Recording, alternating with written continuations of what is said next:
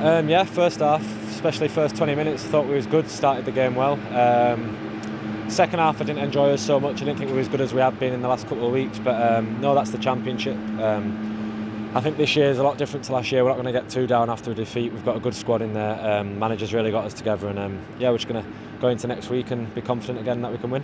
I just think that's this league.